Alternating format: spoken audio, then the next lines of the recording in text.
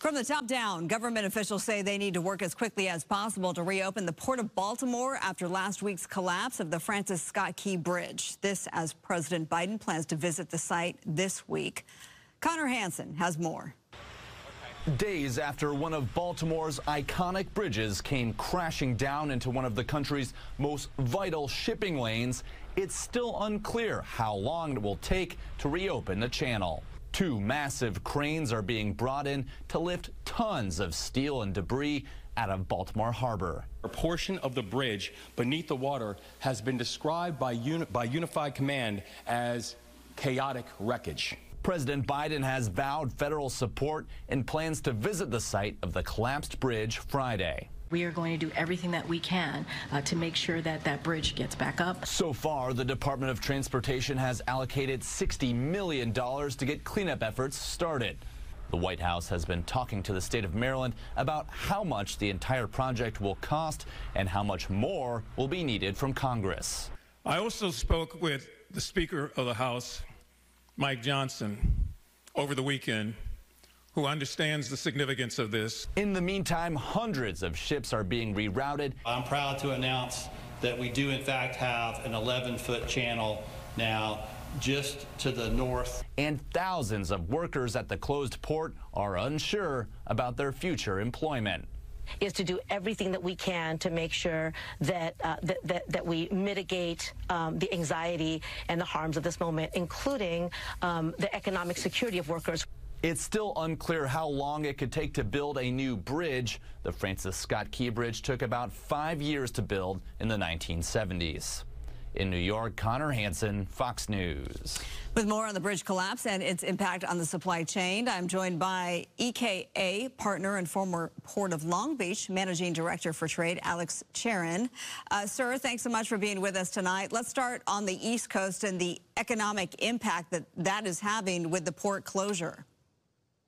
Yeah, so the real immediate concerns, obviously, you know, the longer that the Port of Baltimore remains closed, you know, the more pressure there will be to find alternative gateways. And so shippers and shipping uh, companies right now are scrambling to look for alternative uh, routes. And that will, in the short term, you know, mostly be East Coast ports, Savannah, Jacksonville. Um, we won't see a real large diversion um, for, for probably three to six months. Okay, and, and, then just noting that Baltimore's port imported and exported more automobiles than any other in the U.S. Can you speak to the auto industry?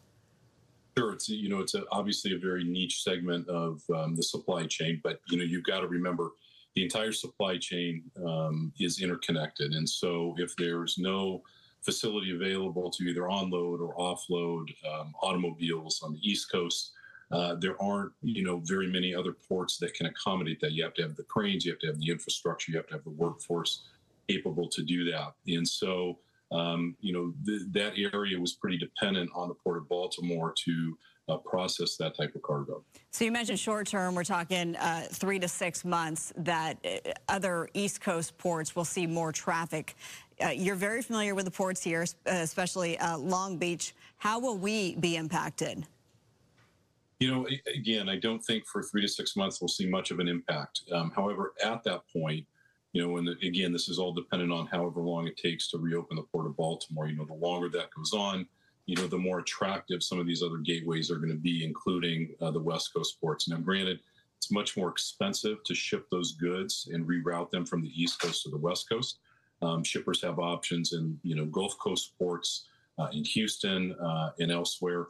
Uh, but at some point, you know, given uh, the whatever the price of fuel will be, whatever the sort of the availability will be for rail, you know, if you're trying to get cargo to the middle of this country, uh, it, the math may make sense to divert it to the west coast. And again, these decisions in the supply chain, because there's limited capacity, um, you know, because it's a fluid situation, these have to be made. These decisions have to be made months in advance. So again, three to six months, I think you're, you're going to see short-term diversion to other East Coast ports. Uh, six months thereafter, if the Port of Baltimore isn't back and operating at full capacity, you may see that potential for that cargo to be diverted here. And then I'm thinking of Christmas. Uh, you know, that'll put us in October, November. Yeah, you know, again, those plans are made months in advance. And, you know, believe me, shippers overseas, importers, exporters here, um, you know, anyone involved in the logistics industry, everyone has their eyes on that holiday shipment season. You see a surge, obviously, in container activity. And if one port in this entire network goes down, you will see the ripple effect. Oh, Okay, we're going to end it after this one here because this is a ripple effect and sort of a secondary effect. It's not just the port, but then the rail and actually delivering this cargo. Sure. So, you know, the, the supply chain is not just the ships, it's, you know, the trucks uh, that haul it to local warehouses, it's the rail, uh, to your point, and then that last mile delivery. So, and again, because there's limited capacity in this country, if one port goes down, you will feel that impact at every other port. It's just a matter of when. All right. Well, I learned a lot. Uh, I think our viewers did too. Alex Cherin, thank you so much for being with us tonight. Appreciate it. Thank you.